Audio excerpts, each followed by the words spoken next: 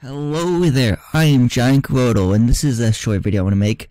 It's basically explaining my absence for, uh, well, not uploading a video for like a little bit over a week now. And I said that, I explained in my last video right here, as you can see, it's called Deleted Projects Explained, plus new announcement for my next project. So in this video I explained why I ended up just deleting, uh, some of my projects and if you want to figure, if you want to know all that, just watch the video.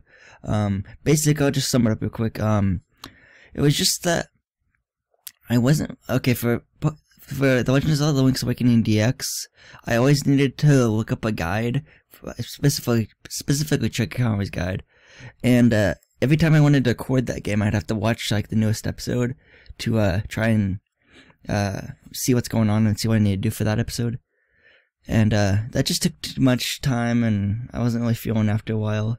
Um, Fire Emblem, for example, I should have mentioned started this first. Okay, Fire Emblem, I just got to a point where like I played a, a ship level in Fire Emblem for the Game Boy Advance, and I just couldn't win against the battle no matter what I did. So I was like, oh man, I might as well just scrap the series and just delete it. And I never really announced or said why I deleted it until that, this video that was uploaded like a little bit over a week ago. So I apologize for that. And then for Super Mario Odyssey, the reason why I deleted that project is because uh, I always have to play a little bit ahead, which I don't mind, and getting, so I could get, be familiar with the moons I'm going to collect when I actually record a new episode. And I only got through three episodes, I think, of Odyssey, and then six episodes of uh, the Link, Legends of the Link's Awakening DX, and then also I think I had 15 episodes of Fire Emblem before it got deleted from my channel by me. But uh, I just really want to enjoy my first playthrough with um of Odyssey, I guess, because uh, I want to see how I do and stuff, and do it kind of on my own time, kind of like casually play it, and just have fun with it. Because with doing, a, I tried doing, you know, what I usually should do for my channel is play games that recently just came out. Like I tried to do that with Odyssey. I uploaded my first episode, I think, or first part, in like November or something when it came out in late uh, October. But like I always like to enjoy my first playthrough in new games, I guess, and it's fun to do a let's play on it and show it off for the first time and play it for the first time blind, kinda. So you kind of get surprised and get really hyped and stuff. But for me, I I I just had trouble uh, finding time to record it all the time. I can only record at my mom's house. I can never record at my dad's house because he has, my dad has a T- HDTV downstairs that I could plug in my Wii and uh, Switch and stuff and bring over my capture card and stuff, my Elgato. But um, I kind of wasn't feeling that, and I don't know. I was that's why I just ended up deleting off my channel because I didn't want to continue it as a project. Not saying that any of these three games I'll I'll never do, but maybe I'll do um all three in the future. I don't know. It just depends on how I feel and when I get better at them, because I'm not really good at Zelda games to be honest. I died like I think ten times on the genie bottle boss in, in Bottle Grotto of uh um, Link's Awakening DX, and then Fire Emblem, that one boss with the ship and the pirates or whatever it was, that boss was hard. And then Odyssey, I was I was spending like maybe like 10 minutes looking for moons and I couldn't find any for some reason when like all over the place. I mean, there's 800 moons in the game, pretty much. Maybe even, no, there's exactly 999 according to Matt Pistolward and Sam, Sam the TP knows that. And uh, Matt Pistolward actually beat the game 100%. I don't, I asked him, hey, why isn't there a thousand moons? He's like, I don't know.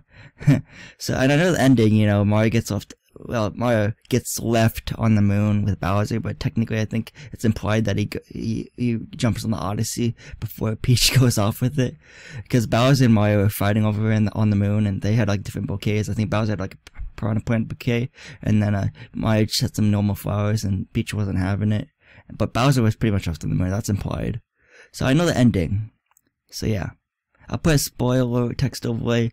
Uh, if you didn't, if you don't know the ending of Odyssey, I'll put um, I'll put a text over saying that hey, uh, spoilers coming up. You know, I'm gonna spoil the last boss or the final boss cutscene or whatever at the end cutscene. So I'll put a text over saying spoiler and warning you guys if you haven't seen the uh, final boss cutscene, whatever.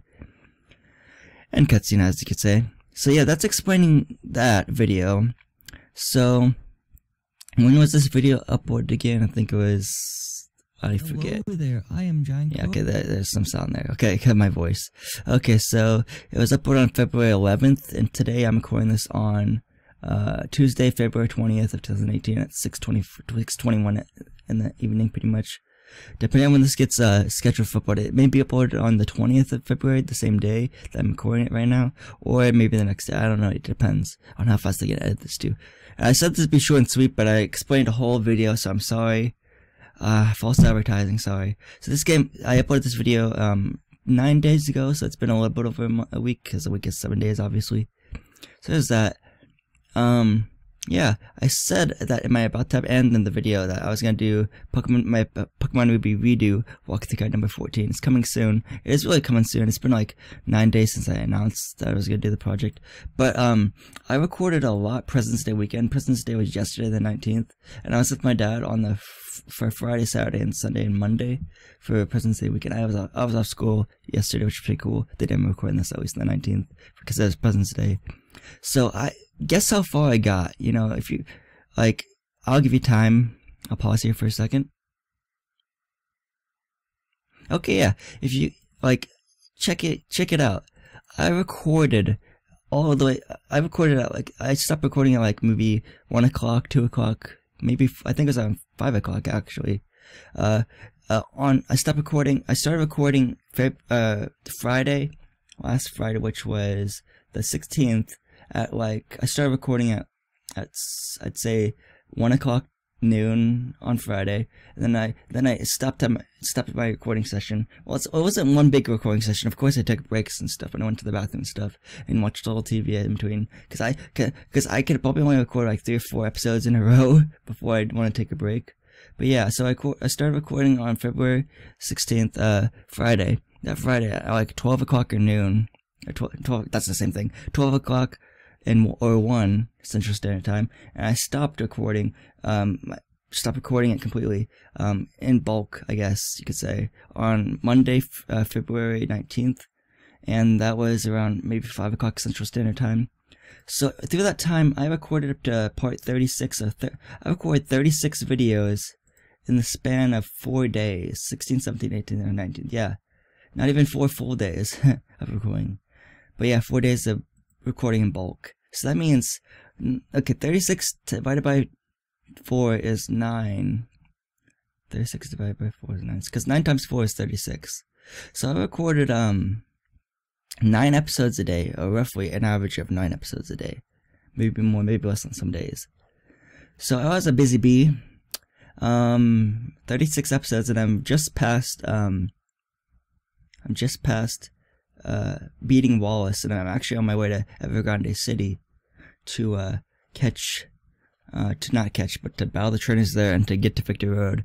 Because Ever Grande City is before the route, water route I'm, or after the water route I'm on, and then uh, the Victory Road's in between Ever Grande City and the Pokemon League. So I really um I recorded a lot, honestly, and I was able to get all eight gym badges, record all eight gym badges in my walkthrough guide in, in just four days. That's crazy. That's awesome. And I had a good amount of time for breaks and stuff too. So, um, pretty much I have the majority of this project already recorded. I have none of it edited though. So yeah, um, also I want to point out that, um, I'm going to, uh, usually I have like, um, let me see. I usually have video backgrounds. I won't be using these video backgrounds anymore, I don't think, because for some reason, like, when I, um, recorded um in OBS with the um, Visual Boy Advance. The sidebar kind of the sidebar, the black bars on the side kind of changed the size because they're not the um Game Boy Advance. I don't think they're the Game Boy Advance um size anymore. Maybe. Oh wait, they think they are. But um, I don't know if I want to still use these actually, or if I want to like make like a really cool red um Ruby background for um my project for Pokemon Ruby, my walkthrough guide or if I and if I want to just like make a little special sidebars for each game. I'm still deciding on that because I'm not for sure. Um, hmm. I don't know. Cause like I usually for these backgrounds, I usually, I don't like stretch out the image to full screen on everything anymore. As you can tell, I started, uh, started this whole, um, video game background, uh, back, video backgrounds for like, I think it was Yu-Gi-Oh! the Secret Card, so I did my Let's Play on that. That's when I introduced all this. And then, like, for example, if you remember, when I did have my Odyssey videos, like my three Odyssey videos that I uploaded, I had like a full screen Nintendo Switch, because I know when I was recording with my Elgato, it records like full screen, uh, 60 frames per, well, honestly, um, it's 30 frames per second at 1080p, because I don't have that Elgato 60S, or 60, um, where it records at like HDMI games, or P- games that require an HDMI input. Um, yeah, I um can I can record at 720p with 60 frames per second, but of wanted to do at 1080p but at 30 frames per second. I kind of render out in 30 frames, uh, 60 frames per second though. So, yeah, that's that I guess. Um, and uh, for um for recording with OBS and Visual Boy, I actually um have my OBS settings where I record 60 frames per second. So whenever I do like a emulated game, I record at 60 frames per second because um, OBS records at 60 frames per second as long as you put the right settings in. So that's, I guess, an exception there. But I'm not sure if I want to keep these, uh, keep on using these video backgrounds, or if I want to um, put like make a little background or sidebars, or like a design for each individual new Let's Play that I do. I'm still deciding on that because I'm not sure. And of course, you know, I uh, back to what I was saying is I usually do I usually add whenever my Elgato records like um the video the video games it's like you know Wii U game like Super Smash Brothers for the um for the Wii U um Smash Four um that usually um when I record it with my Elgato because I just have the regular Elgato um I usually just it records like every like a most of the screen but also has like a black back border that's kind of small. For example, I'll show the, um, yeah, it looks like this. Like, I'm just saying my design covers the black part of it, where, um, it's just like, um, just covers the black part of it. So, uh, I don't really stretch it out all the way, even though it's, it shouldn't make it that big of a difference if I just stretch this over in like, in Sony Vegas, you know, and stretch this, and stretches. but I don't know. Um, I wanted to do that because I don't like having like, you know, for example, uh, I, I believe Game Boy Color games kind of look really stretched out if you have a, if you have it stretched out full screen to where it takes up the whole screen, uh, like the video player for YouTube. So like, I like having, you know, a, um, you know, design like this where it doesn't feel stretched out and stuff. Because I realize that when you stretch it out that much, it can stretch the pixels, I think, and it looks kind of, it just looks stretched out and doesn't look as good as if you could just like make it its normal like view, normal like um, you know, when you play the game, like a, if you play on like a Game Boy Color, for for example, Pokemon Crystal, there'll be like little backgrounds. I think there'll be filled like the little square of for the screen, or for like example, I bought um Pokemon Crystal off the Nintendo 3DS eShop I think about a week and a half ago, and uh, by the way I'm at Icefall Cave, so I have like seven gym badges, so that's pretty cool. I like my team. I'm using a um. I want it. My my Eevee still hasn't evolved into Espeon, even though I've trained to like 14 levels since it was level 20. Um, and I've been training in the morning and made sure it. I've, I've made sure the massager in uh, Goldenrod City has um massaged at least at least once, but I, I, don't think that's enough actually. But um, and I've never let it faint, and I've been only training in the morning, making sure it levels up only in the morning because that's when what takes to evolve an Eevee into Espeon. And then I'm also I started with a uh, Cyndaquil, so now I have a Typhlosion actually, which is pretty cool. I think my Typhlosion just evolved. Well, no, I think I, I think I might still have a Qual, actually. I'm not sure because I think it's like a level 34 and I was at level 36. And I'm using a Noctowl. I originally called Hoot for that. I'm using a Graveler which I usually uh, which Geodude did for, uh, in the Graveler, and I traded um an Abra for a Machop in Golden City. I think for um Ruby uh, for Gold and Silver, it's you trade a Drowzee to get um um to get Machop um in that trade in a golden run. Otherwise, you have to wait till like Mount Mortar or something, like the end of the game, to catch a Machop, which is kind of weird. But like, I just traded for it, and, that's, and a Machoke, so that's pretty cool. I'm gonna ask Matt Pistolward if he can trade, uh, help me trade over trade him um my Graveler and my Choke to evolve into Machamp and uh, Golem because I helped him evolve his Haunter into a Gengar by helping him trade. So that's pretty cool. And uh, who else am I using? I'm using a Slowpoke that evolves at level 37 into Slowbro, I believe. It's like level 34 right now, so it's just, it's still Slowpoke. And then, guess like Graveler, Machoke, um, Noctowl, uh, Slowpoke, Eevee, and what's my other Pokemon? Um, hmm, I don't, I don't really remember. Um, I, I don't remember. That's five out of six. So, yeah. Forget who I'm using still. Oh, I don't know. I forget honestly. So yeah, um, I just want to explain that you know, the Pokemon Ruby Redux guide part will or walkthrough guide will come soon because I have like the majority of it. I have like I'd say I have eighty percent of the game recorded already. You know, all I have to do is go to go through this water route to get to Ever Grande City, go through Victory Road, um, battle Wally at the end of Victory Road, and then take on the Pokemon League. And then after the after game will be me catching Rayquaza, the Regis, which I have to get to Pacifidlog Town for that an after game, I guess, because I'm not gonna do that within the main story or before I beat the Pokemon League, because I think I wait till after to catch all the legendaries, I guess. And uh, yeah, that's pretty cool. Other than that, um, I'm glad I made a video, and I'm still deciding whether I want to use video backgrounds or not. My own video backgrounds, or like make it like new video backgrounds uh, that are unique to each project that I do. I forget. I don't know if I want to do that. Um, I think honestly, I would be kind of happy if I uh, made individual video backgrounds for my projects that would cover the black part of the that's not recorded that's not recording the screen. You know, the black bars or whatever, the border, whatever it is. And if it's like a Switch game, like where my Elgato doesn't record, if it records at full screen where there's like no back, no black border or box side bars, then I'll just keep it full screen. Then I think I do want to uh, start using you know unique um, designs for covering those that black part.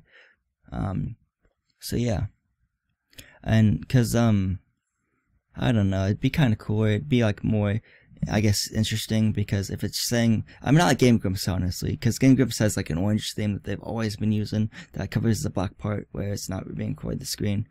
Um, so yeah, but I'm no longer probably gonna go back to stretching the video to be full screen for like all my videos. Because uh sometimes it doesn't look good on like of course Game Boy Color games as I told you guys because it looks stretched out and stuff. So yeah that's that. So guys thank you for 1911 subscribers and thank you guys for a million uh, million twenty one thousand three hundred fourteen total upload views. And I'll see you guys soon Thanks for listening. I'm sorry that this is a longer video, but I want to explain everything. Hopefully I explained everything. If I didn't explain everything, I'll put text overlay, or as I go along, I'll add something in a text overlay if I need to. So yeah, so this has been Jacko again. I'm the King. Goodbye, and I'll see you guys in my next video.